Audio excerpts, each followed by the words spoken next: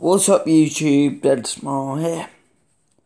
Normally I wouldn't make these kind of vlogs, but then again I just keep on thinking about it and keep on thinking about it. But now it's really starting to annoy me. Online things. Things that you can only do online.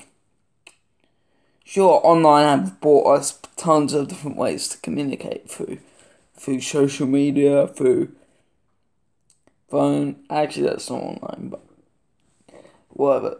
And even brought gaming and other related media straight online. So we connected all different people across the world, world, and I still love it today. But there's been one problem that bugs me.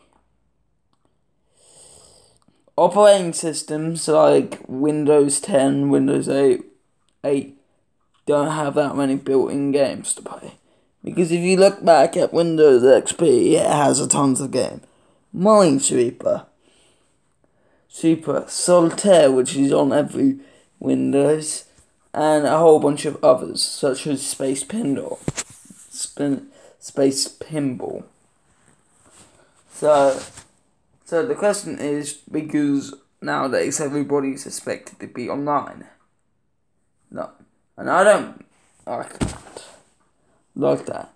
Because one reason my internet sucks. Like I've been trying to upload videos, but I can't because my internet. Like I was meant to do like a tour, tour record me actually going on a famous landmark, for example, and obviously, obviously I didn't. I had to stop the recording, otherwise my camera would have run out of memory. Memory. So I I and guess what? I went to sleep thinking that they would all go back and it didn't upload. I'm like, what the hell is that? And then, then I was like, none of you guys are gonna get it now because they can't upload. Maybe because it was too many uploads in a short amount of time. But whatever. I'll go away from the point now. The point is, is that let's take look at gaming. PS4, Xbox Ones, most of the menus are actually accessible if you don't have online. On that. Like I bought bought most of my games digitally, but now now I just realised that you don't actually own the games. You own a license to one the software. But with uh, digital media, you actually own it. Own it. And plus, now everything's online. There is a certain certain discs that have updates installed on them, so you can, so they will update off the disc. Disc. And you might be thinking, why are you complaining about this? There's solutions.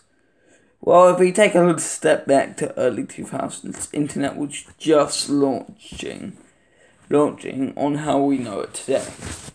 Unfortunately, with newer hardware comes newer designs, and because I remember the days of GameCube, PlayStation 2, Xbox 3, plug in a disc, and it immediately, immediately plays it plays it. None of this downloading stuff.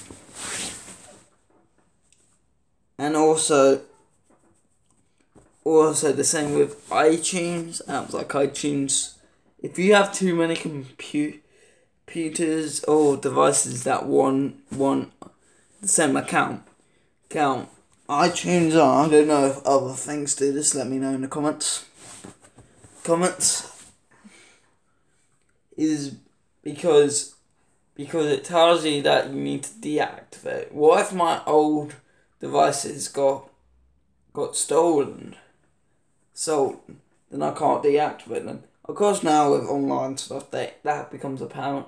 But well, I had to.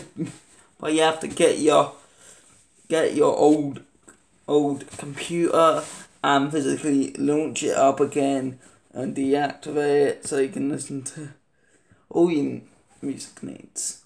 I'm gonna stop my here and rant because I pretty much covered all the basic points. Let me know if you want want part two of this in the comments, and make sure to like, favorite, subscribe, and share this video with all your friends. This has been Let's Bar. Signing out.